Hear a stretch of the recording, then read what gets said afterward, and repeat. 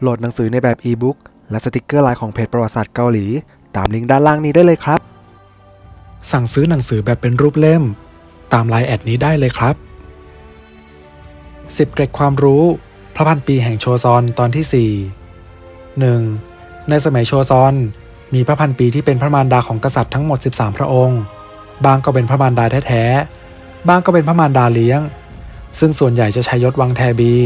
เพราะทรงเป็นอดีตราชินีของกษัตริย์องค์ก่อน ซึ่งก็มักจะเป็นพระบิดาของกษัตริย์องค์ปัจจุบัน แต่ใน 13 พระองค์นี้ มี 4 พระองค์ที่ได้เป็นพระมารดาของกษัตริย์มากกว่าหนึ่งรัชกาลดังนั้นพวกพนางจึงได้เป็นพระมารดาที่ชายศแทวังแทบี ได้แก่ พระพันปีซองระยอนหรือราชินีมูลจองสกุลยุน พระนางเป็นวังแทบี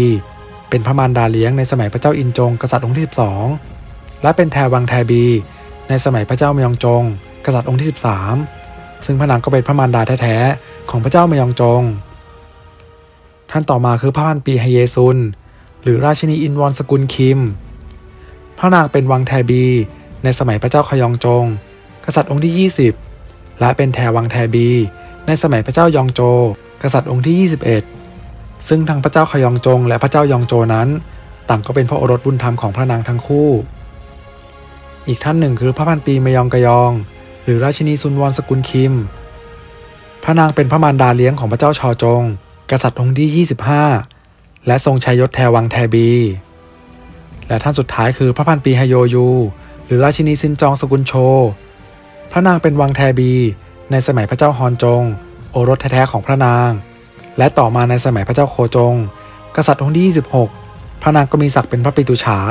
รวมทั้งเป็นพระมารดาเลี้ยงของพระเจ้าโคจงด้วย ซึ่งพระนางก็ชัยยศแทวังแทบีเพราะทรงเป็นผู้อาวุโสสูงสุดในราชสำนักตอนนั้น 2. พระพันปีจาซุน หรือราชินีชองฮยอนสกุลยุน อดีตราชินีผู้ผ่านการผัดเปลี่ยนแผ่นดินมาแล้วสองรัชกาลแต่ก็ไม่ได้เลื่อนยศ หรือชั้นพระพันปีแต่อย่างใด โดยในสมัยพระเจ้ายอนซันกษัตริย์องค์ที่ 10 พระโอรสเลี้ยง พระนางได้เป็นวังแทบี ต่อมาพระเจ้ายอนซันโดนปลด โอรสแท้ๆของพระนางก็ได้ขึ้นครองราชย์ต่อ เป็นพระเจ้าจุงจง กษัตริย์องค์ที่ 11 พระนางก็ยังคงดำรงฐานะ เป็นพระพันปีชั้นวังแทบีเช่นเดิม ไม่ได้ขึ้นเป็นทายวังแทบีแต่อย่างใด ทั้งนี้อาจเฉพาะสมัยพระเจ้ายอนซันถือเป็นโมฆะไม่นับเป็นกษัตริย์ จึงถือว่าพระพันปีจาซุน ผ่านการผัดเปลี่ยนแผ่นดินมาแค่หนึ่งรัชกาลเท่านั้น 3. พระพันปีคงอี หรือราชินีอินซองสกุลปาร์ก ก็เป็นพระพันปีอีกท่านหนึ่ง ที่ผ่านการผัดเปลี่ยนแผ่นดินไปสองรัชกาลแต่ก็ไม่ได้เลื่อนขั้น โดยสมัยพระเจ้ามยองจง กษัตริย์องค์ที่ 13 พระนางเป็นพี่สะพ้ยและได้เป็นพระพันปีชั้นวังแทบี ต่อมาในสมัยพระเจ้าซอนโจ กษัตริย์องค์ที่ 14 พระนางก็มีศักดิ์เป็นเสด็จป้า หรือพระปิตุฉาของพระเจ้าซอนโจ แต่พระนางก็ยังคงเป็นวังแทบีเช่นเดิม ทั้งนี้ก็อาจเพราะทรงไม่มีอำนาจอะไร หรือไม่พระเจ้าซอนโจก็ทรงเห็นว่า พระนางมีศักดิ์เป็นเสด็จป้า เหมือนกันกับพระพันปีอีกท่านหนึ่ง ซึ่งเป็นมเหสีของกษัตริย์รัชกาลก่อน ดังนั้นจึงให้ท่านป้าทั้งสอง เป็นวังแทบีเหมือนกัน 4. ในสมัยโชซอน มีพระพันปีที่เป็นย่า หรือพระอัยิกาของกษัตริย์อยู่เจ็ดพระองค์ ซึ่งส่วนมากจะได้เป็นพระพันปีชั้นแทวังแทบี มีเพียงพระพันปีเยซุน หรือราชินีชองซุนสกุลคิมเพียงพระองค์เดียว ที่เป็นพระอีกา ที่ชัยยศวังแทบีในสมัยพระเจ้าจองโจหรือลีซาน ทั้งนี้ก็เพราะพระเจ้าจองโจของราชต่อจากเสด็จปู่พระมารดาของพระองค์ก็ขึ้นเป็นพระพันปีไม่ได้ ในวังจึงมีพระพันปีเพียงพระองค์เดียว และเป็นอดีตราชินีของกษัตริย์นับย้อนขึ้นไปแค่หนึ่งรัชกาลดังนั้นจึงให้เป็นพระพันปีชั้นวังแทบีจึงเหมาะสมแล้ว แต่หากกลับกัน สมมุติว่าพระเจ้าจองโจ สามารถคืนฐานะให้พระบิดา และสถาปนาพระราชิให้แก่พระบิดาเป็นกษัตริย์ได้ พระองค์ก็จะสามารถถวายยศ ให้แก่พระนางฮเยกยองผู้เป็นพระมารดา ขึ้นเป็นพระพันปีชั้นวังแทบีได้ ส่วนพระพันปีเยซุนย่าเลี้ยงของพระองค์ ก็จะได้เลื่อนขึ้นเป็นพระพันปีชั้นแทวังแทบี แต่ยังไงตามประวัติศาสตร์ เหตุการณ์นี้ก็ไม่ได้เกิดขึ้น พระอายิกาเยซุนจึงเป็นพระพันปีชั้นวังแทบีเท่านั้น 5. ในสมัยโชซอน มีพระพันปีที่เป็นพระปายิกา หรือเสด็จทวดของกษัตริย์อยู่สองพระองค์ ท่านแรกคือพระพันปีชาอี หรือจาเอยหรือพระราชินีชังระยอนสกุลโช เสด็จทวดในพระเจ้าสุกจง กษัตริย์องค์ที่ 19 องค์ที่สองคือพระพันปีเยซุน หรือราชินีชองซุนสกุลคิม เสด็จทวดในพระเจ้าซุนโจ กษัตริย์องค์ที่ 23 ซึ่งทั้งสองพระนางเป็นญาติทวดเลี้ยงของกษัตริย์ทั้งคู่ และทั้งสองพระนางต่างก็เป็นมเหสีองค์ที่สอง และมีพระชนมายุห่างจากพระสวามีมากทั้งคู่ทำให้ได้เป็นเสด็จญาติทวด หรือญาติทวดเลี้ยงของกษัตริย์ ซึ่งพระนางทั้งสองต่างก็เป็นพระพันปีชั้นแทวังแทบี 6. ในสมัยโชซอน มีพระพันปีที่เป็นพระปิตุฉาอยู่ 6 พระองค์ ซึ่งทั้งหมดก็เป็นเสด็จป้าของกษัตริย์ บางท่านก็เป็นอาสะพ้ายบางท่านก็เป็นทั้งป้า และพระมารดาบุญธรรมของกษัตริย์ด้วย ซึ่งใน 6 พระองค์นี้มีสามพระองค์ ที่ได้เป็นพระพันปีชั้นวังแทบี และมีอีกสองพระองค์ที่เป็นพระพันปีชั้นแทวังแทบี และมีพระองค์เดียวที่ได้เป็นพระพันปีชั้นแทบี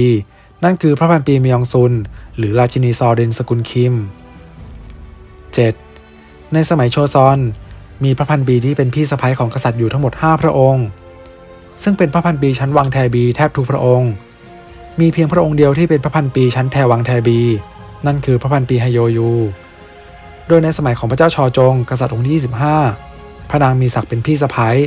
และเป็นพระพันปีชั้นวังแทบี แต่เมื่อแทวังแทบีองค์เดิมสิ้นไป พระพันปีไฮโยยู จึงได้ขึ้นเป็นแทวังแทบีแทน และช่วยกษัตริย์ว่าราชการต่อ 8. ในสมัยโชซอน มีพระพันปีที่เป็นหลานสะพ้ยของกษัตริย์อยู่สองพระองค์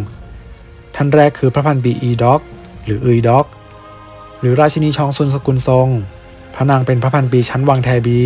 ในสมัยพระเจ้าเซโจ กษัตริย์องค์ที่ 7 โดยมีศักดิ์เป็นหลานสะใภ้ของพระเจ้าเซโจ ท่านที่สองคือพระพันปีเมยองฮอน หรือราชินีฮโยจองสกุลฮง พระนางเป็นพระพันปีชั้นแทบี และวังแทบี ในสมัยพระเจ้าชอจง กษัตริย์องค์ที่ 25 โดยพระนางมีศักดิ์เป็นหลานอาของพระเจ้าชอจง แต่ก็ทรงมีพระชนมายุไล่เลี่ยกันกับกษัตริย์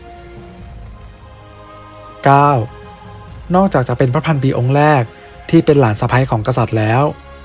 พระพันปีอีด็อก หรือราชินีชองซุนสกุลทรง ก็ยังเป็นพระพันปีองค์แรกที่โดนปลดอีกด้วย เพราะหลังจากที่พระเจ้าทันจง